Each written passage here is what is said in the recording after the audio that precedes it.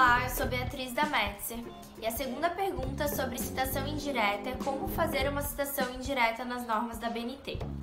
Bom, você já sabe que para fazer uma citação indireta, você deve apenas escrever as ideias da fonte de pesquisa com suas próprias palavras no trabalho.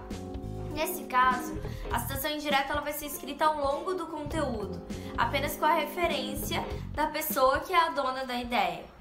Então, não precisa alterar a formatação do conteúdo. E aí você também pode dar o seu próprio tom para o texto, que é adaptar a ideia para o contexto da tua pesquisa.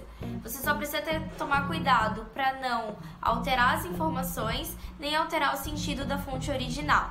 E aí uma boa forma de evitar isso é lendo todo o contexto do trabalho, todo, todo o texto, e não só apenas frases soltas do autor ou autora.